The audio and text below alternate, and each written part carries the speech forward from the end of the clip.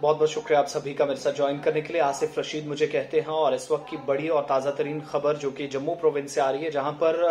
एक बड़ी सियासी जमात, यानी पीपल्स डेमोक्रेटिक पार्टी को बड़ा झटका लग चुका है। और झटका उस वक्त लगा है जब पार्टी के कद्दावर लीडर स्टालवाट माने जाने वाले पीडीपी के, और पिछले तकरीबन 20-25 सालों के दौरान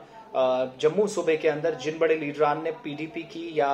पीडीपी के साथ रहते हुए अवामी खिदमात की हैं, अंजाम दी हैं। उनमें सुरेंद्र चौधरी का एक बड़ा नाम था। सुरेंद्र चौधरी जो कि फॉर्मर एमएलसी हैं और पिछले साल कुछ नाराजगियाँ पार्टी के साथ रही थी, जिसकी वजह से उनने बेसिक मेंबरशिप या जो बुनियादी रुकनी थे, उससे वो मुस्ताफी हुए थे। और उसके बाद हालाँकि पार्टी के साथ वो ज़रूर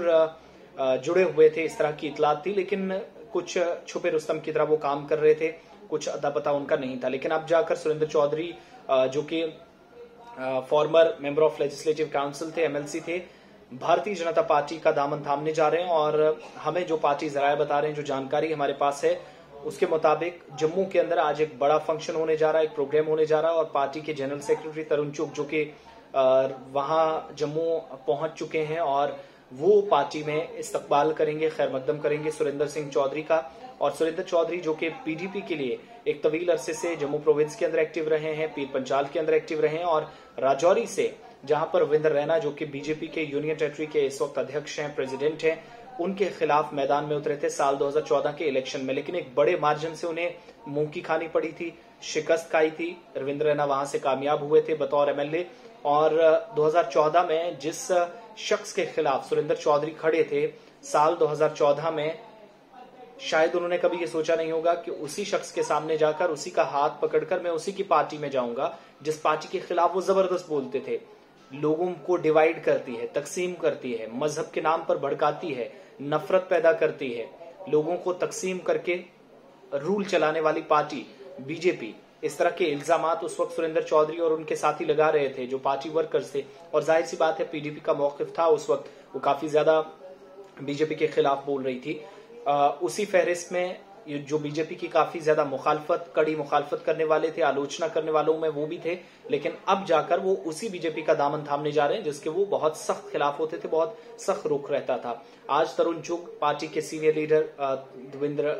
सिंह राणा भी हमारी इतला के मुताबिक वो भी पार्टी दफ्तर में मौजूद होंगे। इसके अलावा कुविंदर गुप्ता, जो कि असेंबली स्पीकर, फॉर्मर रहे और इसके अलावा फॉर्मर वाइस जो कि जो डिप्टी चीफ मिनिस्टर रहे माफ़ कीजिएगा, डिप्टी सीएम रहे जम्मू कश्मीर के वो, और इनके अलावा पार्टी के सीनियर लीडरान में बताया जा रहा है कि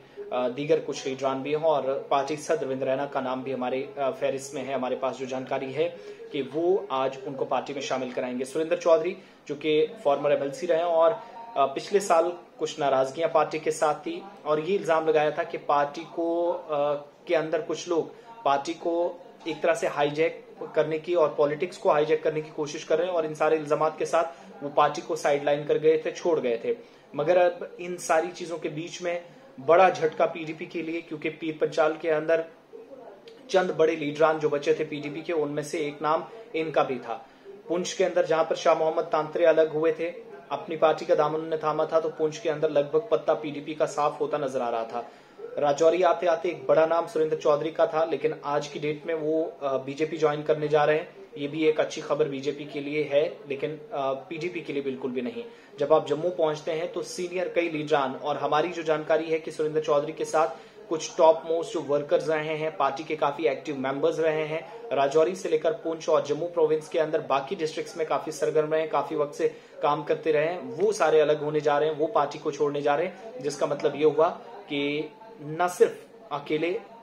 वो अपने पूरे काफिले को साथ लेके जा रहे हैं सुरेंद्र चौधरी। और